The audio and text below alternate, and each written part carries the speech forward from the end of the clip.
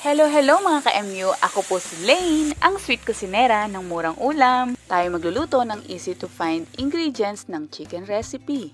Kailangan lang natin dito ng sibuyas, bawang, dahon ng sibuyas, luya, patatas. At tanglad o lemongrass na hiniwa ng maninipis, yung stalk at yung dahon na hindi na natin sinama. Then, nag-prepare ako ng 1 tablespoon na brown sugar at 3 tablespoon ng patis or eh or fish sauce.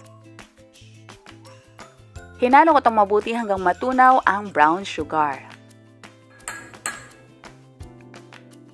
Gumamit din ako dito ng dalawang chicken breast at hiniwa ito ng maninipis.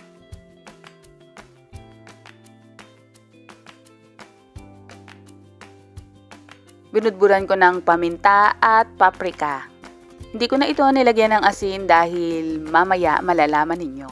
Kung wala naman kayong paprika, okay lang kasi pangkulay ko lang ito. Next, sa isang pan, nagpainit ako ng konting mantika at nilagyan ko ito ng butter. Ang butter ay optional lamang. Kung wala kayo nito, okay lang. Mantika ay pwede na. Pinirito ko dito ang chicken hanggang sa mag-golden brown.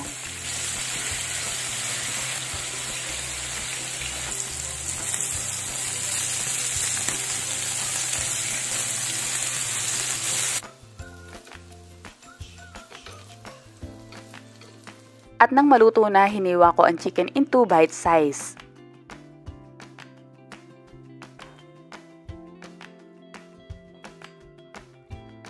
Pinan-fry ko din dito ang patatas, dalawang piraso ito at hiniwa ko lang ng maninipis din at bite size.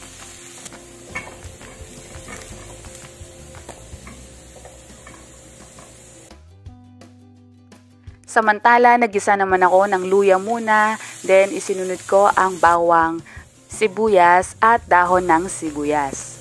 Grabe ang mahal ng mga gulay ngayon. Dati umiiyak ako pag naghihiwa ako ng sibuyas pero ngayon umiiyak ako sa presyo ng sibuyas. Nakabili ako 240 pesos per kilo. Dati 80 pesos lang to. Eh sa inyo mga ka-M nyo, magkano na bang sibuyas? Comment nyo naman yan. Isinunod ko na rin dito ang stock ng tanglad o lemongrass at ang chili flakes. Ang chili flakes ay optional po lamang pwede kayong gumamit ng siling labuyo.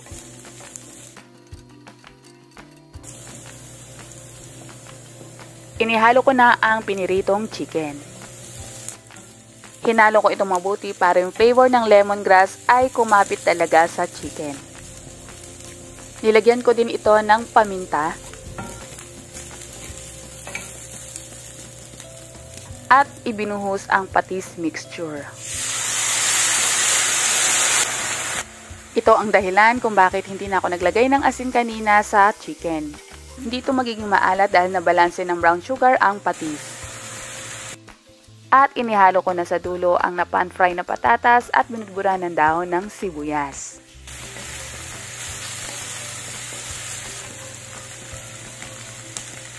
Mmm, napaka-aromatic dahil sa tanglad. Narito na ang lemongrass chicken. Mga ka-MU, hindi naman talaga nilalagyan to ng patatas pero dinagdagan ko ng patatas para dumami ang ulam. Kasi syempre, kung dadamihan natin ng chicken ay napakamahal din naman.